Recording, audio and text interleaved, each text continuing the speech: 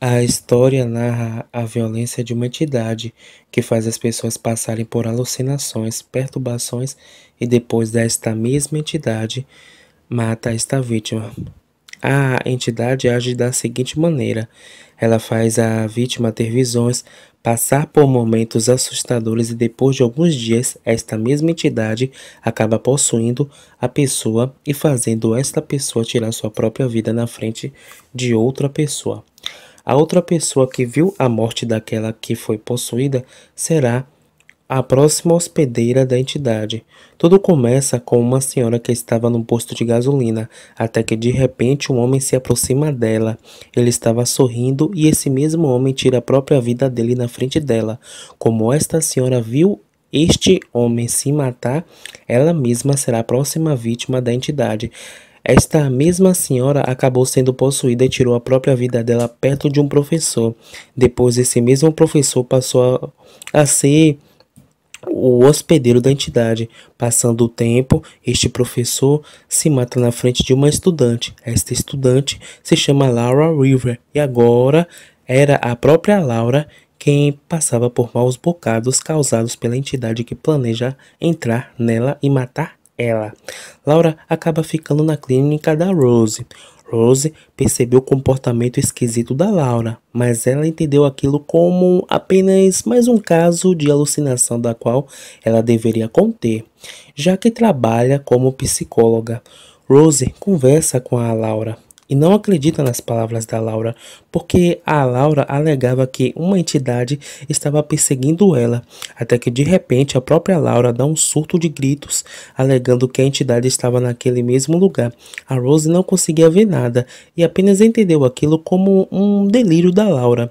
Rose vai chamar ajuda e logo depois ela vê a Laura na frente dela, dando um sorriso bem tenebroso. A própria Laura estava com o caco de pires nas mãos e a própria Laura acaba tirando a vida dela na frente da Rose. Agora era a Rose quem seria perseguida pela entidade, mas ela não sabia de nada disso. Rose relata como foi a morte da Laura. Ela relata para os superiores dela, para a polícia, ela relata todo o comportamento estranho que a Laura teve antes de morrer. Mas, no dia a dia da Rose, ela começa a ver a assombração na frente dela. Nos primeiros momentos, ela entende aquilo como um trauma que ela adquiriu depois da morte da Laura. Mas no decorrer do cotidiano dela, as coisas vão ficando mais intensas.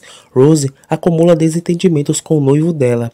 Ela também tem desentendimento com a irmã dela, e isso é desencadeado a partir do momento em que a Rose vai dar um presente para o sobrinho dela.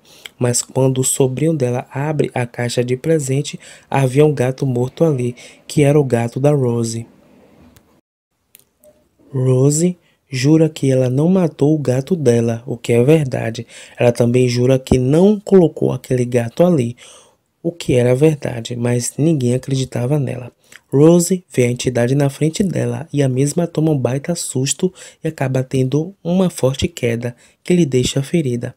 É a partir desse momento que a relação da Rose com o noivo dela e com a irmã dela fica bem ruim. Rose decide investigar sobre a entidade que ela estava vendo. Ela lembra que a Laura alegou que ela viu o professor dela se matar na frente dela e a partir daí que a Rose segue passo a passo a história das pessoas que se mataram dias depois de ver outras pessoas se matando na frente delas. Rose até conta com a ajuda de Joel, um rapaz que tá afim dela, mas que ela precisou dele porque ele trabalha na polícia e por isso consegue encontrar cada caso de pessoas se suicidando de maneira bizarra. Rose descobre um caso de um homem que tinha diversos delírios e daí matou outra pessoa e assim se livrou dos delírios. Este homem estava na cadeia e o nome dele era, Robert. Rose se encontra com ele e ela tenta entender como aquele homem conseguiu se livrar da entidade que fazia ele delirar.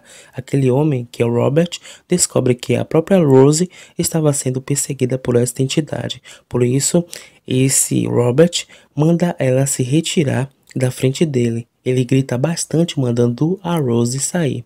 Com isso, a própria Rose tem a ideia de matar alguém na frente de outra pessoa para se livrar da entidade. Rose tenta matar o Carl na frente do chefe dela, mas aquilo tudo não passava de um sonho, o que deixou a Rose frustrada. Rose tem a ideia de se isolar para que a entidade não possua ela e faça ela se matar na frente de outra pessoa para que esta pessoa não seja a próxima vítima.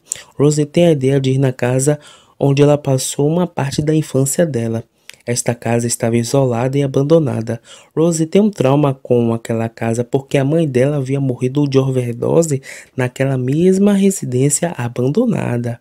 Rose planeja ficar ali e ela até havia falado com o Joel que ela iria se isolar. Mas numa noite, Rose ouve barulhos e ela vai no quarto onde a mãe dela morreu.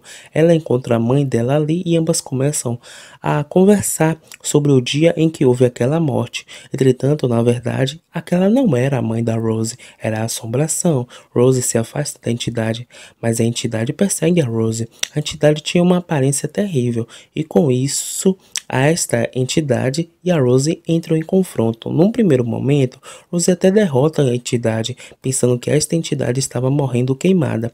Rose se afasta daquela casa e ela encontra o Joel. E havia uma tranquilidade entre os dois. Rose tem uma alucinação de que ela foi na casa do Joel naqueles momentos de tranquilidade, porém Rose percebe que aquele ali não era o Joel mas sim a entidade que persegue ela. Rose se dá conta de que, na verdade, ela estava apenas do lado de fora da casa que ela imaginava que pegou fogo. Mas daí o verdadeiro Joel aparece na frente da Rose. Rose não queria que ele ficasse perto dela e ela entra naquela casa. E é assim que a entidade ataca a Rose dentro daquela casa e depois disso ainda entra na Rose. Joel entra na casa, ele procura a Rose e encontra ela sorrindo e preparada para tirar fogo nela. Rose, que agora estava possuída, se mata na frente do Joel, atirando fogo nela mesma enquanto Joel ficava estático.